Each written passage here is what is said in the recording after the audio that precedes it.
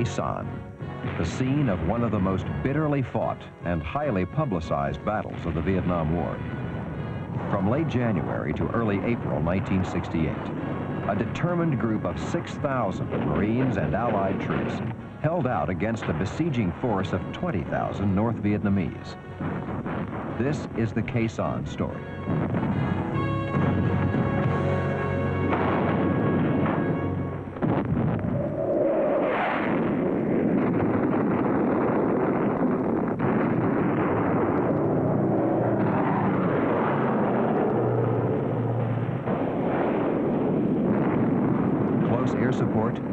B-52 bomb runs, and tactical airlift combined to defeat the North Vietnamese.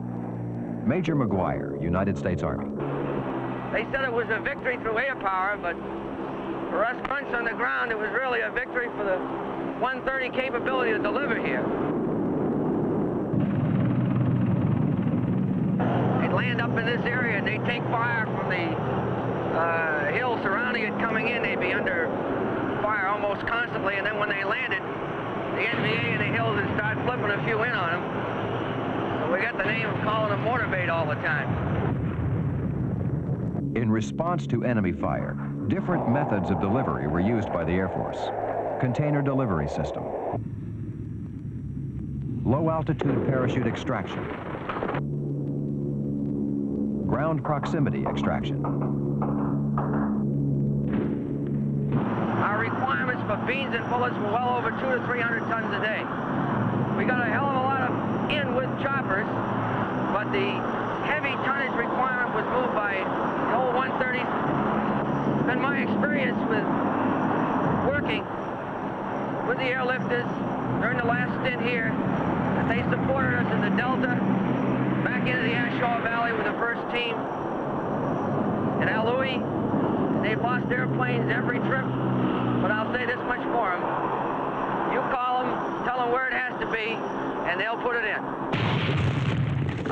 In February and March 1968, the siege was on. Five times the fortress was attacked in battalion strength. Five times the North Vietnamese army was repelled.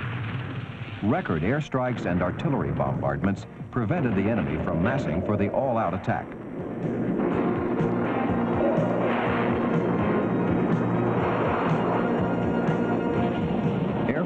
Navy, and Marine pilots flew more than 24,000 sorties and dropped more than 103,000 tons of bombs. The North Vietnamese troops were forced to dig in, keep their heads down, and concentrate on avoiding being scorched by napalm or pulverized by the bombs. In addition, more than 100,000 rounds of artillery and mortar fire were poured on the enemy.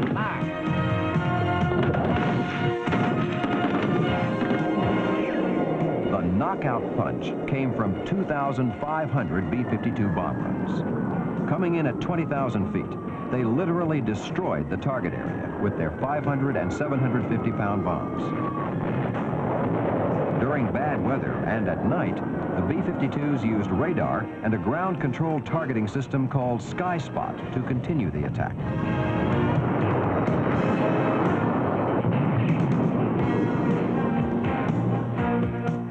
On March 27, 1968, the North Vietnamese army began to withdraw. A few days later, the Marines moved out, opened Highway 9, and linked up with 30,000 relief troops. On April 7, 1968, the relief troops reached Sanh. President Lyndon Baines Johnson. Some have asked what the gallantry of these Marines and airmen accomplished. Why did we choose to pay the price to defend those dreary hills? The fortress at Sanh straddled critical supply and infiltration routes that the North Vietnamese were using. Route 9, which it commanded, was to be a major avenue for the enemy into populated areas and into the cities of South Vietnam. By pinning down and by decimating two North Vietnamese divisions, the few thousand Marines and their gallant South Vietnamese allies prevented those divisions from entering other major battles such as those for Hue and Quang Tri.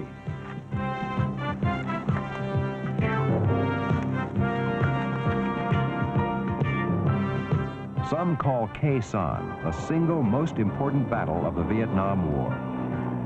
Only time will tell.